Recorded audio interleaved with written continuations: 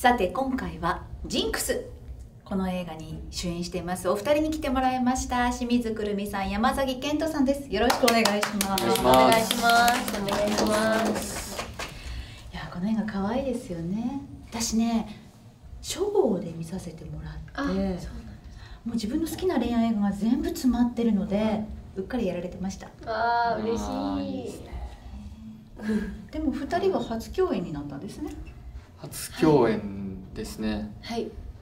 でももともとん。知り合いうん。を通じて知り合ってたんで、うん。あのだからそのなんかね最初かまあら最初から普通に。普通に仲良かったです。どうでした？この企画を最初に聞いた時の印象は？斬新でしたね。うん。あの韓国と日本の恋愛文化がこんなに違うんだとか思ったし映画の名シーンを真似するのって面白いなっていうか斬新でしたね。くるみちゃんはどうでしたか？私はあのラブストーリーが初めてだったので、うん。なのですごくどうしたらいいんだろうっていうどういう風なんだろうっていうの楽しみもありましたしすごい緊張してました最初ははい。けれどもともとじゃあ知り合いだったからそこは少し安心。そこは少し安心でした、本当に。そこが結構その共演したことあるある方とかともいたので、ね。そこはすごい安心でした周りの空気とか世代がみんなねこう揃ってる、は、はい。ね大学が舞台のお話ですしね、そうですうん。え演じてみてのお互いのこうこういう人っていうのはありますか？こういう人。はい。じゃあ山崎賢人さんから見た清水くるみさんはこういう人。くるみさんはですね あの楓の男らしい部分も持ち合わせてるけど、うん。ふにゃふにゃしてる あの柔らかい。すごくすごく柔らかくて。うん。ふにゃふにゃしてる。なんでですかね。なんかねあの温かい空気を持ってる人ですね、映画ではほら霧島部活やめるっていうのでね、はい。一緒に仕事をさせてもらった時に。そうです。本当にこうなんだろう。目でこう凛としてるものを感じるっていうのはあるんですけど裏で確かに会うと。うん。そう。ふにゃふにゃしてる。ソフトな感じがね ソフトな感じですよ。ね。ね。そうですね。ね。直さなきゃ、うん。いやそれが多分魅力ですよね。そうですね。そこが魅力だと思いますじゃあ清水くるみさんから見た山崎賢人さんはどうですか？えーっとそうですね。ユうスケとはちょっと違う感じですね、こうユーモアがユーモアいっぱいの人でこう面白いです。ムードメーカーにもなるけど、うん。そうだなうん。なんか多分かっこいいのにその面白さもあるからモテるんじゃないかなって思います。お。お。どうですか？あーまあ。まあ。そうですね。わうやだーん。言わなければよかった。嬉しい嬉しいですよね。嬉しいですねそんな風に思ってたなんて思いも知らない思う。結構なんだろう。はいあごめんなさい。ごめんなさい。なんか結構周りはう、ん。うん、言うてるうん。人が多い。なんか結構その素の部分を うん。なんていうのなんか結構こう、はい。うんそうですね。なんかいろいろあれ本当うにん。普段からもう結構喋るし、あれだからあのそんなに私は思わない思わないって言ったらごめんね。思わないわけじゃないんですけどうん。こう周りからは結構かっこいいし面白いよねみたいな言われてるよ、よマジ？うあありがとうございます。なんかん、なんかごめんなさい。でもユうスケはね、はい。ちょっとこうね、はい。なんていうのかな、うん。そのユーモアの部分っていうのは確かにね、そう。だからそこが全然違うんですよね。うんじゃあユうスケのことでなんかここは理解できるけどここ理解できなかったっていうのはありますか？うーんまあでもユうスケのなかなかこう好きっって言えない、うんうんうんあのベンチで2人で座ってて、うん。ずっと気になってたんだよねっていうセリフとかは、なんか分かるようで分かんないっていうか、うん。なんかででもうーんなんだろうまあ共感はしますね。だからそううん好きってなかなかこうちゃんと素直に伝えられないみたいなのは共感というか同じかなって思いますちょっとこじらせ男子ですか？こじらせられ男子かもし あこじらせられていく。れないで分かんなくなっちゃってみたいな。うん。女の人分かんなくなりますよね。あうん。ーです。ってねどうですかね？女性から考えるとね。うん。女ってそんな難しいですかね？いや難しいとは思いますけど。うーん。でもこうこうなんだろう。うじうじしてる人、うじうじしてる男の人だとなんかちょっと、うん、女の人にこうガツってい女の人は多分ガツって来てほしいから、ちょっとユースケタイプだと、うん。やっぱりジホみたいな子がいないと難しいかなって思いますね。うーん。確かにね、でも多いですよね。こういうタイプの男の子ね、うん、多いですね。ね。ちょっと引っ張ってあげなきゃいけないのかっていうのはね、ありますよねえくるみちゃんはどうでした？自分のキャラクターをこう楓ちゃん演じていて。ここは私、うん、ちょっと理解できるよなって。うーん、なんかこうどうせ私なんかみたいなうん。うん感じなんですね、楓って。うん。でもそこはなんか楓は結構何に何に対してもっていうか恋愛に限ってではなくてまあそういう部分もあったりするんですけど、恋愛に対してどうせ私なんかって思うところは私もちょっと理解できます。意外ですね。そうさっきも言ってたんですけど、うん。好きな人がいたらもうすぐ諦めちゃうらしくて。え？好きな人に好きな人がいあたら。そう好きな人がねいたら。そうあでも分からないでもない。そう。なんかもう傷つきたくないからもういいやって。ねじゃあ次の人さ次の恋愛しようみたいな諦めちゃうんですよね、なんかこうグイグイいけないんです。こう他のうん。本当に仲良かなんだろうなんだろう仲良くなりたいとか、うん。友達止まりの人に対してとかすっごいグイグイ行くんですけど、好うん。きな人ってなるとなんかそう、うん、あんまりいけないですね。えー、でももったいないですね。それは。うーん。うん。だからうーん悲しいです。悲しい。もうそこら辺はじゃあ結構この映画のキャラクターを見ながら共感して。そうですね、うん、あでも分かるっていうところもあるし、うん。えここはもうちょっと行こうよっていうところもあります、うん。見てると。うん。じれったくなっちゃうところとかもありますけど。あでも分かるっていう部分もすごくありました、ね。私この映画見ながら私の大好きな映画がとにかくこう散らばっててそれがシチュエーションで出てくるじゃないですか「ラブ・アクチュアリ」でしょ？うん「君に読む物語」でしょ「エターナル・サンシャイン」うん。シザーハンズ」うん。あとなんだっけな？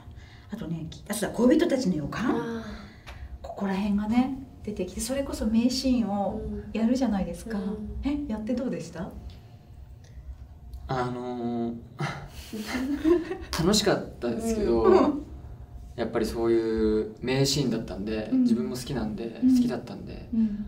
あのー楽しかったですねでもやっぱ恥ずかしかったなって、ね。はい。女の子はやっぱりやってもらう側なので、うん。その、まあ、恥ずかしさもありますけどその男の子よりはこうすごいワクワク感っていうかドキドキとかはするし、うんしました。えお気に入りのじゃああのその演じた名シーンどの映画ですか？演じてみて。演じてみて。ここのやっぱり名シーンは演じてやっぱやられたら楽しいしやったら楽しかった。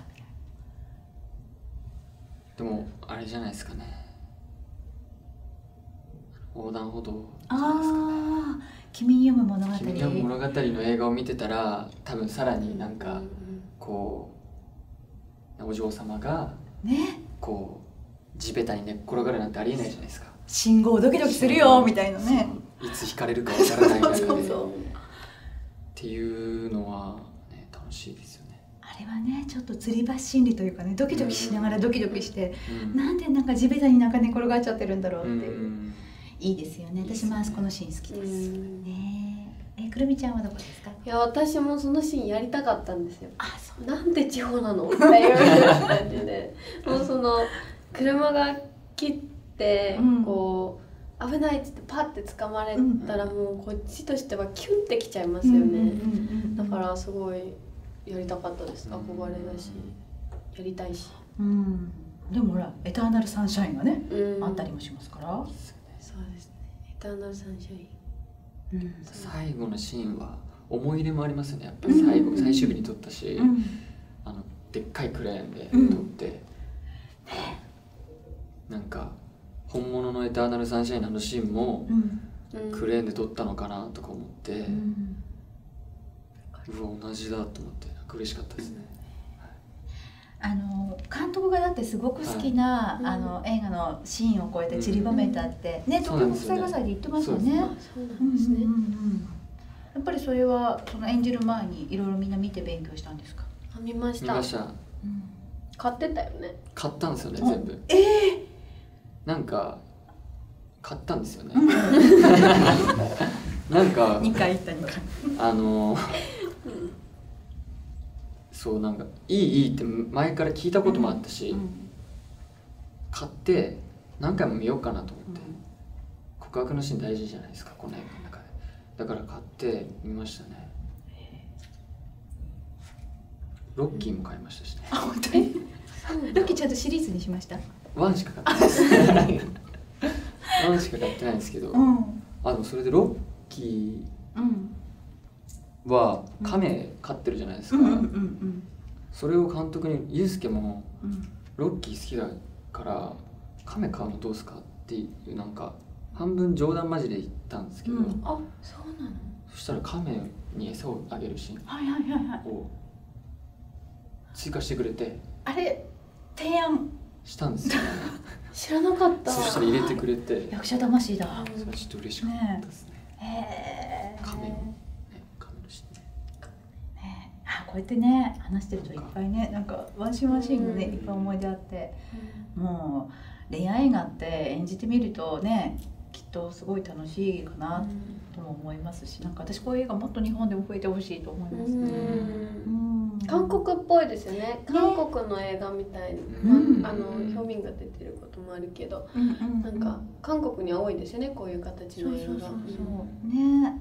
ちなみにこの番組ではですねあの2人にそれぞれこうマイベストムービーっていうのを言ってもらうんですよ。はい。ジャンルに分けてもいいし今この気分でこの映画おすすめっていうのでもいいです。えーっとですねじゃあ,、うん。ずっと見てなくて最近見たんうん。ですけどキッズリターンをあの最近見たんですよね。ですごいなと思って。あのあれでしょ？だから今ほらあるじゃないですか。新しい two じゃない方。じゃなくて前のやつ。 one は見たんですけど。すごいわと思いましたね。やっぱロッキーからの流れですかね。あボクシングっていうわけじゃないんですけど あの面白かっへえ。えどういうところが一番こう震えたんですか？たなんだろうなあの最後のセリフとかうん。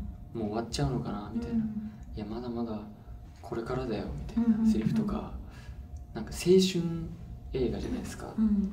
すごいなんか自分なんかわまだ若いから、うん。若いからっていうか 若いんでやっぱそういうのを見てうん。なんか面白いなと思えるんですよね。なんかうん。近いし。うん。うんうん。あこういいなこういう青春の仕方みたいな。だから「青い春」とかも好きだし。なんか男の子。ねかっこいいちょっととんがった男の子の、だって健人君ね今までどっちかっていうとねアナウンサーとかねそうですね。ほらあの今日これもそうちょっだけどと病に病とか。心臓弱いとか。結構あったんですけど。じゃあマネージャーね。あの ちょっとこそううじゃあちょっと喧嘩が出てくるような映画も「青い春」もそうですしね。はい。きなんですよね。激しい山崎賢人が見れるってことです。みたいですね。ね。筋トレとかしますか？いやでも筋トレちょっと苦手なんですよね。あの筋肉をつけるために筋肉を動かすっていうのがうんちょっとしんどくて。あのサッカーとかスポーツをして筋肉がつくのはいいなと思うんですけど楽楽まあ辛くないし楽しいから。筋トレをして筋肉をつけるってちょっとしんどいなと思うんですよね。でもまあハマってた時期ありましたけど辛いなと思い詰めてたんで辛いなと思いたくないんで。あー。でもそういうスポーツ映画ねじゃあ役に入るって言ったらちょっとやります。やり早速。ますそれはやります。それは。ちょっとその言葉は忘れないでおきますわ。はい。くるみちゃんはどうですか？えー私は「永遠の僕たち」っていううん映画が好きで映画館で確か2回見てでもう大好きで DVD 買っちゃったんですよね。えスペイン映画のでしょ？そうです。あの切ない。そうですそうですそうです。二回映画館で？もうもうすごい好きなんですよね。いや傑作ですけどあれ二回見るのはでもねうん。確かにこうドンドンドンドンドンドンって感じ。すごい好きです。もう最後のあの、うん。主人公の男の子のあのアップの最後のあの表情がもう何回も見たいしうん見たくなるしもう本当にすごい好きですねあの映画は。スペイン映画ってなんでああいうちょっとこうね寂しくてうん。悲しいんだけども、うん。なんかねうん。こう芸術っっていうのかな、私も大好きなんですよね。綺麗ですよねうん。色合い色味とか。うん。うん。え結構そういうちょっとこうセンチメンタルな悲しいお話が好きですか、ああそうですね。なんかううん。そうですね。あの韓国のうん、建築学概論とかもすごい好きです。あれも恋愛だけども過去の改造ね。そうすごいあれも切ないっていうか、うん。うーっていう感じもすごい好きですでも建築学が言えてない 喋れてなのにすいません恋愛建築学概論だっけ？タイトル建築学概論です。建築学概論。建築学概論っていう授業が一緒だったんですね、でそこからの恋愛始まりで過去の恋愛にちょっとこういろいろってなっていくっていう映画なんだけど、すごいでもねあれは女優さんでね演じるにしてもすごい楽しそうですよね、うん、楽しそうだと思って、ね。ぜひ日本でもと思ったんですけど、そうですね。あのこう大人になったバージョンとちょっとね、うん。あの懐かしい昔のバージョンと。っていう演じようっていうん。二人とも結構映画見ますね。俺一番好きな映画違いました。じゃあ今のは、はい。違いましたというかうん違くはないんですけど、もう一個言ってみましょう。揺れるがすごい好き。であー西川好き。宮監督の私も好きですあの人間の感情なんか全部出てる映画っていうかあのお兄さんが洗濯物を畳んでて、ねあの襖から弟の香川さんが洗濯物畳んでて小田切さんがね襖から覗いて「あまだ風呂入ってないの?」みたいなあのやり取りとかすげえ鳥肌立つぐらいのあれで。あれはすごい。ですあれはすごい。ええじゃあ二人がまああん中でまあでもね 役は決まってますけど どっちやりたいですか？じゃあお兄ちゃんと。弟揺れるですか？うん。いやでもまあ俺弟じゃないですかね。お兄ちゃんと一緒にやっても キャラ的な雰囲気とね、あのなんて貫禄というか、うん。まあ、す二人ともすごいですけどね。弟か揺れるわでもね。私西川さんとお仕事したことがあるので、何の作品で？あの駆け込み訴えっていう、うんうん。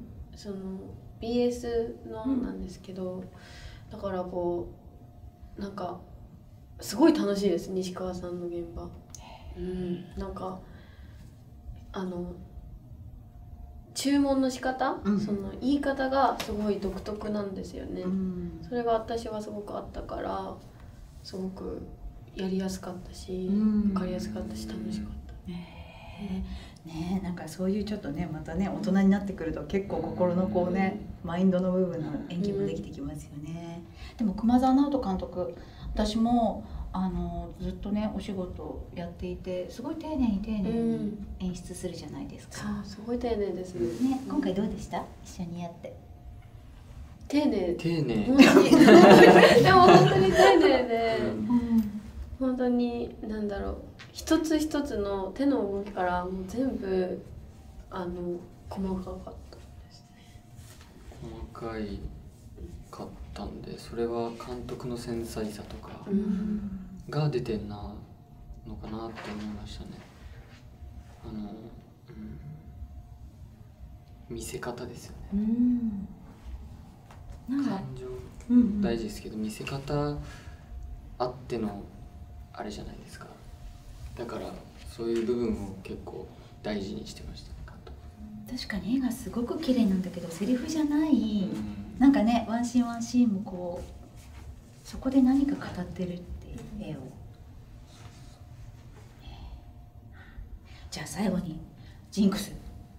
こちらの映画についてお二人からこれから見ていただく方にメッセージをお願いしたいと思います。では清水くるみさんからいきましょうか。私からうん。カメラに？はい。はい。えっとそうですね。うんとこの映画を見てこうジホにジホからいろいろ学んで女の子はすごい綺麗になってってほしいですしあの男の人にも見てもらいたいのがその例えば決してこう女の子から告白したらダメっていうジホの言葉でもこう女の子が告白を待ってても男の子が告白してくれなかったら困っちゃうのでなのでうん。その男の子にも見てちょっとジホからいろいろ学んでもらってこうみんなたくさん恋愛してもらいたいなと思います。ぜひ見てください。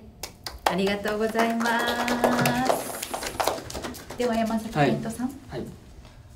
えーっとジンクスを見て、えー韓国と日本の恋愛の文化の違いをなんか楽しくなんか感じてもらえたらいいですしあとは好きな人がいたらその告白をするちゃんと自分の気持ちを伝えるための背中を押すような映画でだ映画と思ってもらえたら嬉しいです。えーっとぜひ恋しに映画館に恋をしに来てください。よろしくお願いします。ありがとうございました。というわけでジンクス清水くるみさんと山崎健人さんでした。ありがとうございました。ありがとうございました